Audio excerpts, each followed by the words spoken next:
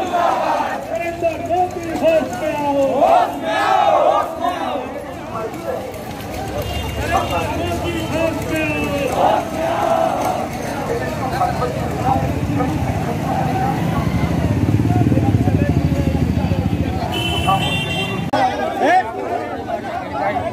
एक मिनट एक मिनट अरे हटिया ए भाई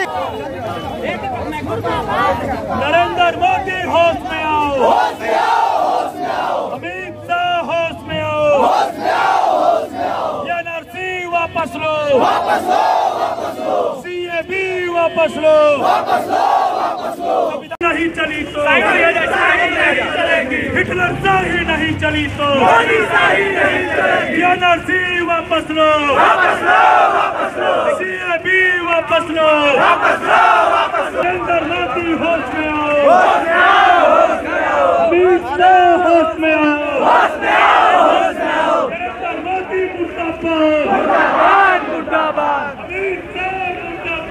सभी साथी हिंदू मुस्लिम सिख ईसाई सभी जाति धर्म संप्रदाय के लोग यहाँ पे हम लोग जो है रामगढ़ बाज़ार में इकट्ठा होकर एनआरसी और सीएबी के खिलाफ आक्रोश मार्च निकाले हैं और मसाल जुलूस निकाले हैं। यह जो सरकार इस देश में आग लगाना चाहती है और लोगों को हिंदू मुस्लिम में बांटकर इस देश पर राज करना चाहती है यह सरकार संविधान के साथ छेड़छाड़ करते हुए जैसा कि संविधान के मूल प्रस्तावना में एक शब्द जुड़ा है धर्मनिरपेक्षता सेकुलरिज्म और यह सरकार जब से सीएबी लागू की है इसने इस सीएबी के अंतर्गत हिंदू सिख ईसाई, पर्सियन, बौद्ध, इन लोगों को तो शामिल किया है। लेकिन एक बड़ी कौम जो इस देश के लिए आज़ादी के लिए अपने जंग आज़ादी में अपने पूर्वजों की कुर्बानी दी, खून बहाए, उनका इस सीएबी में नाम हटा दिया गया है। अभी एनआरसी लागू हुआ था, आसाम में आप देखे होंगे। ये आसाम में 19 लाख लोग एनआरसी से बाहर हुए,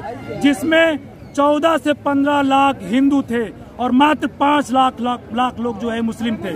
ये जो जितने साथी हैं अब बताएँ क्या ये इस देश के नहीं है? क्या इनकी देश में कुर्बानी में इस देश की अजांग है कि एनआरसी और सीएबी जो अभी सीए हो गया है नागरिक संशोधन बिल हो गया है इसको सरकार अविलंब वापस ले और रद्द करे? क्योंकि आपका परिचय क्या है? मेरा नाम मैं सामाजिक कार्यकर्ता सतीश यादव पिंटू रामगढ़ और यहाँ जितने भी साथी, सभी जाति, धर्म मीडिया कर्मियों का स्वागत करता हूँ, अभिनंदन करता हूँ। आप लोग हमारे प्रोटेस्ट में आए और हमारी बातों को सरकार तक पहुँचाने का कोशिश कर रहे हैं। इसके लिए आपका धन्यवाद। उसके बाद भारत सरकार का जो ये हम के सी और एन आर सी लाया है, इसने हमारी साझी विरासत के ऊपर हमला किया हुआ है। आज़ादी के आंदोलन में 50 साल तक हम कंधे से कंधा मिलाकर इस देश के लिए लड़ते रहे। मौलाना अब्दुल कलाम आज़ाद ने लाल किला के सीढ़ियों पर खड़ा होकर के कहा था हिंदुस्तान के मुसलमान, तुम कहाँ जा रहे हो? आज वही मुसलमान एक बार फिर लाल किला की सीढ़ियों पर खड़े हैं और पूछ रहे हैं कि आखिर हम कौन हैं? हम कौन है जिसने हज़ारों साल तक इस देश के हिंदू मुसलमान एक साथ मिलजुल कर रहे? हमारी साझी विरासत है, साझी संस्कृति है और इस साझी संस्कृति और साझी विरासत पर यह सरकार हमला कर रही है और इन हम तमाम लोग, हिंदू, मुसलमान, सिख, ईसाई मिलकर इस सरकार के इस मुद्दे को, इस इस साजिश को नाकाम करेंगे और हम एक साथ थे, एक साथ हैं और इंशाल्लाह एक साथ रहेंगे। किसी हिंदू का है, किसी सिख का है, किसी ईसाई का है, उतना ही ये मुसलमानों का भी है।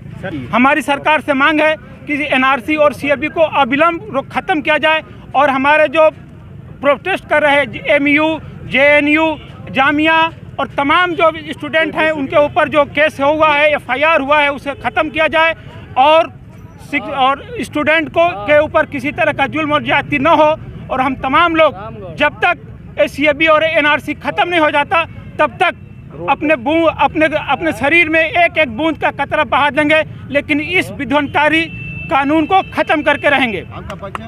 मेरा नाम मोहम्मद हनीफ खान छाता और मैं सतीश यादव पिंटू का एक साथी हूँ और तमाम